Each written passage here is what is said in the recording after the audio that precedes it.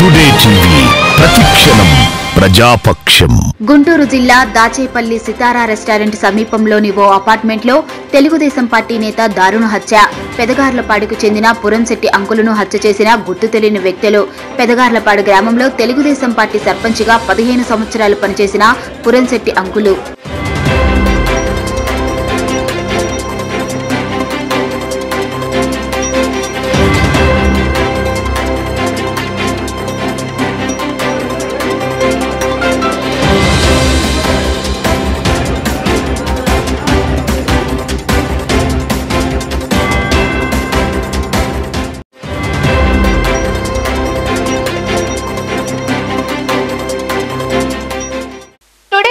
మీకు నచ్చినట్లయితే లైక్ చేయండి షేర్ చేయండి సబ్స్క్రైబ్ చేయండి. మరిన్ని అప్డేట్స్ కోసం బెల్ ఐకాన్ను క్లిక్ చేయండి.